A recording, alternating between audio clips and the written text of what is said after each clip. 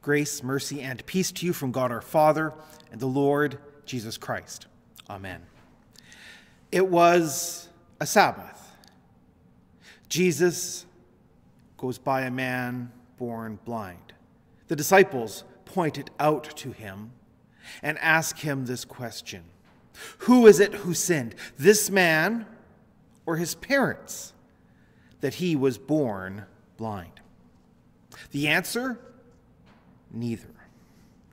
The man was not born blind as some sort of punishment from God against a particular sin.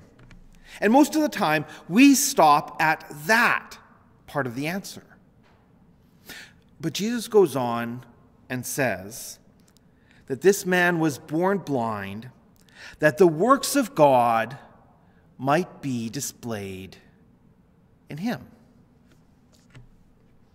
When you think about that, or at least when I think about that, I find it unsettling and disturbing at first glance. To think that God would allow someone to endure blindness for the greater part of his life until Jesus happens to show up, his disciples point him out so that God might be doing the works in his life it almost seems unfair or cruel or unkind to make someone endure blindness for all of those years, all for this single purpose. But then again, we need to reflect more on what Jesus has said. Because Jesus has also said, if your hand or your foot causes you to sin, cut it off because it is better for you to enter life crippled or lame than with two hands or two feet to be thrown into the eternal fire. And if your eye causes you to sin, tear it out and throw it away. It is better for you to enter life with one eye than with two eyes to be thrown into the hell of fire. Let's take Jesus at his word. The punishment for sin is far worse than being blind or lame. And that is the most important work of God that people would be delivered from their sinful condition, that God would save them from his wrath against their sin, he would save them from hell.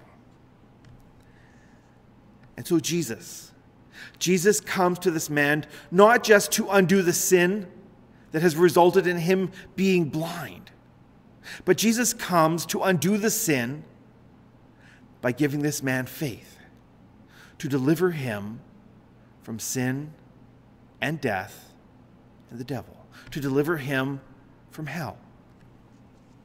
We're often trite when we hear St. Paul say, All things work for, together for good for those who are called according to his purpose.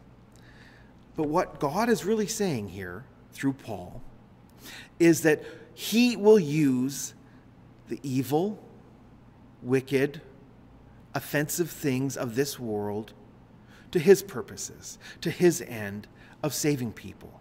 He will use the abuse or the prostitution or the bankruptcy or the martyrdom of Christians to accomplish his goal of saving people.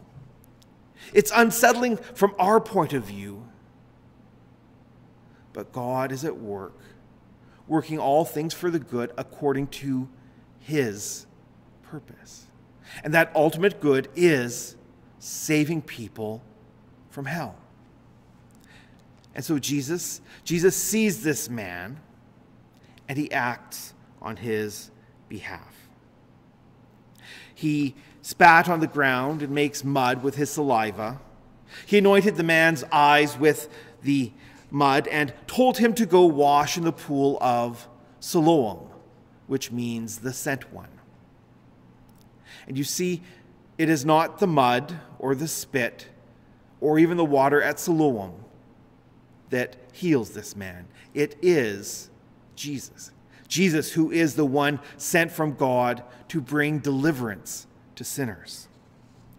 Jesus goes on and says, We must work the works of God while I am in the world.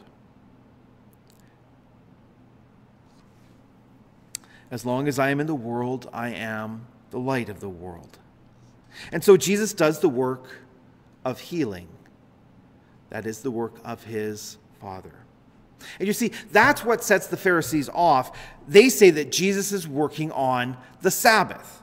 They accuse him of breaking the third commandment remember the Sabbath day by keeping it holy. They're equating what Jesus is doing to a doctor healing a patient on the Sabbath.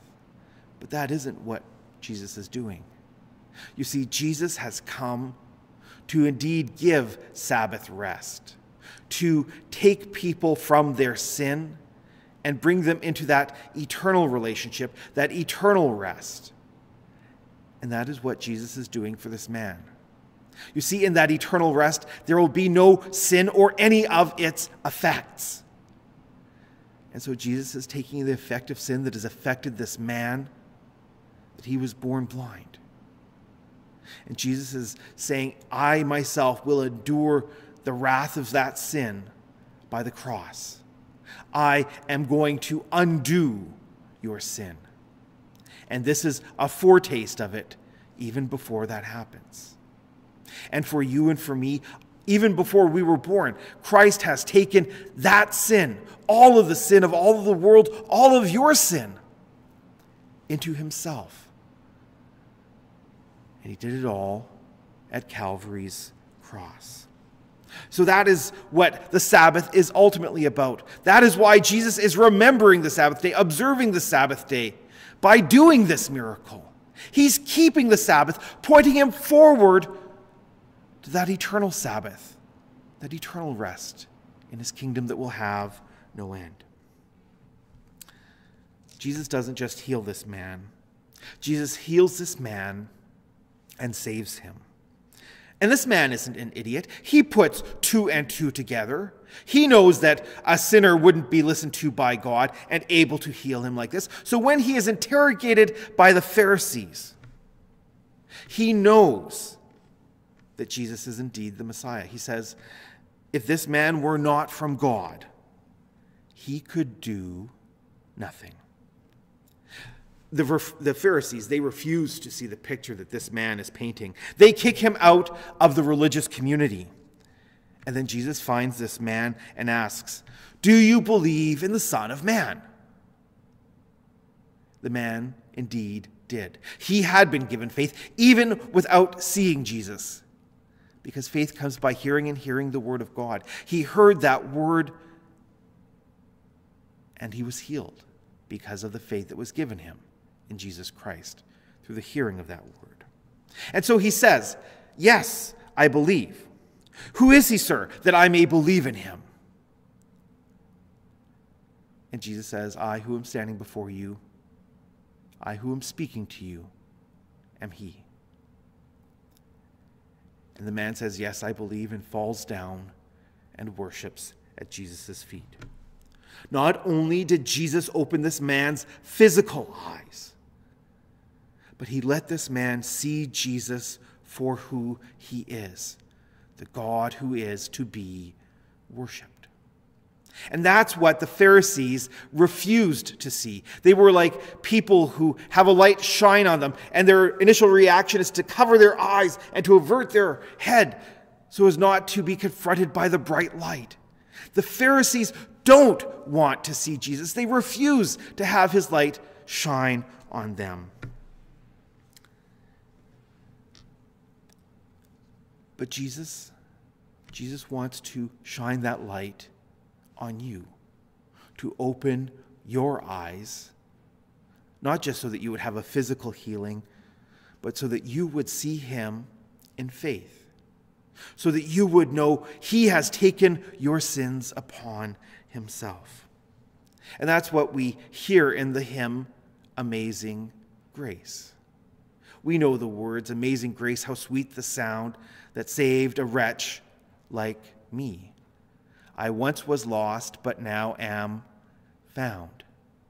was blind, but now I see. This vision, this seeing, is that Jesus opens our eyes to see him. That's what he's re- referring to, is this miracle. And the amazing grace is that Christ forgives all of your sins. For John Newton, he knew that he was a sinner. He talks about the light of Christ opening his eyes. He was a naval officer, but deserted. He became a slave trader, devaluing human life, treating it as though it were a mere commodity, a way to make money. He was rebellious and insolent and arrogant and insubordinate. He writes, I sinned with a high hand, and I made it my study to tempt and seduce others. But one night, when he was in the midst of stormy waters, he remembered a passage from Proverbs he had been taught. Because I have called and ye have refused, I will laugh at your calamity.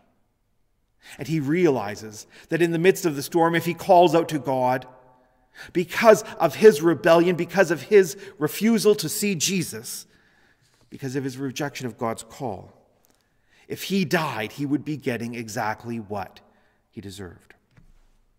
You see, that's where amazing grace comes into play, because Christ did not leave him there, but showed mercy to him. And he does the same for you and for me. Christ comes to forgive slave traders and the insolent and the unregenerate. He comes to bring life. And that is what the blind man got. That is what John Newton got. And that is what is for you. And that's where the hymn Amazing Grace falls short, is because it doesn't actually point you to Jesus. It doesn't say that Jesus is the one who has come and borne your sin. Jesus himself will fill in the blanks, though. He will reveal who he is for you. He is your Savior. The Pharisees, they had their physical vision. They physically saw Jesus, but they didn't see him for who he is. He didn't, they didn't see him as God, God in human flesh, God working, God bringing salvation. They rejected him. Jesus says, for judgment I came into this world, that those who do not see may see, and that those who see may become blind. The Pharisees were blind. Much of this world is blind in its sin. And you, you at one time were in darkness, but now you are in the light of the Lord. Walk as children of the light, for the fruit of light is found in all that is good and true, and try and discern what is pleasing to the Lord. Take no part in the unfruitful works of darkness but instead expose them. Why? Because Christ shines his light on you, that you may see him and believe. That you who were born blind have received God's deliverance. And on the Sabbath, a Sabbath has been prepared for you, an eternal rest in his kingdom that has no end. In Jesus' name, amen.